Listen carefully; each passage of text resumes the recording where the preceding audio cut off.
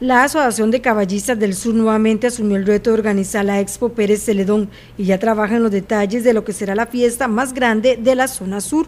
La decisión la tomó el Consejo Municipal en la sesión del 23 de noviembre anterior, donde con cinco votos logró quedarse con la organización y la otra agrupación, el Club de Leones, logró solo cuatro votos.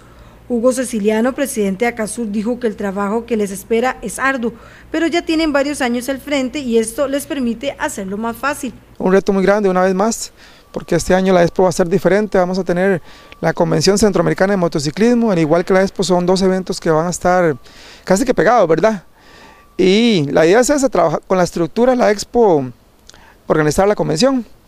En el tema de la elección del grupo sí, fue un tema muy controversial porque Inclusive siento algunas personas del Club de Leones un poco molestas. Eh, nosotros queremos mucho al Club de Leones, admiro mucho a las personas que están en el Club de Leones, son personas de bien social que recaudan fondos para hacer obras meritorias en el cantón, pero desgraciadamente el Consejo Municipal toma la decisión de esta vez decidirse por Acasur.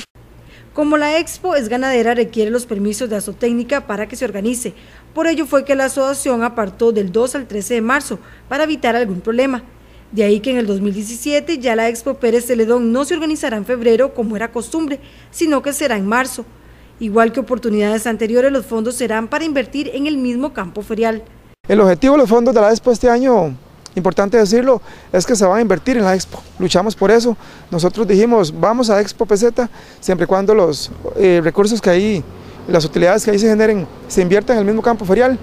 Todo el cantón de Pérez Celedón sabe que es un lugar que ocupa mucha inversión la infraestructura ahí está por los suelos y queremos invertir. Acasur empezó a trabajar desde el 5 de diciembre. Para que los chinameros ya vayan llegando por ahí a, a poder alquilar los diferentes locales que, vendemos ahí, ¿verdad? ¿Cuándo hacen el remate? No creo que haya remate porque vamos a trabajar por la modalidad de convenio, entonces va a ser eh, a sobre cerrado como lo hemos hecho anteriormente, las, las ofertas van a ser a sobre cerrado, entonces no creo que vayamos a tener un remate porque sería muy entrabado y no tenemos los tiempos para el remate siendo parte de la comisión municipal o bien por medio de un convenio con la municipalidad. La Asociación de Caballistas del Sur estuvo al frente de la organización Expo Pérez Celedón en los últimos cuatro años y ahora asumen la responsabilidad esperando que en el 2017 la actividad sea del agrado de la población.